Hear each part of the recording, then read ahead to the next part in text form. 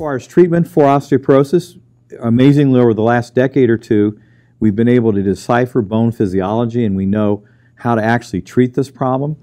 Uh, it's generally treatable up to age 75, maybe even 80. And the whole importance of why we need to treat it is it can prevent catastrophic fractures of the hip and spine in particular that will shorten your life.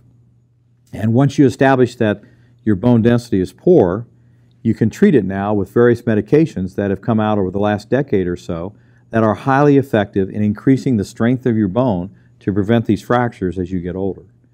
And we've had some really miraculous uh, drugs come out that have actually been able to increase the strength of the bone. And um, these are things that there's very set protocols now that can be started by your medical doctor. Or in my case, as an orthopedic surgeon, I would start these before surgery if it was necessary, if we found your bone was too weak to do surgery.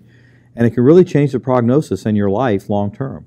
And so just something as simple as taking two to 5,000 units of vitamin D daily if you don't get out in the sun or you have a family history, or you can get your vitamin D, D3 specifically, D3 levels checked. And if they're low, you can bring them up to normal levels. Why that's important is vitamin D directly directs your, your intestines to absorb calcium for your skeleton. So if you're low in that, your calcium absorption is low, and you gradually, over your lifetime, leach more and more calcium out of your skeleton, and you end up getting osteoporosis and getting these fractures.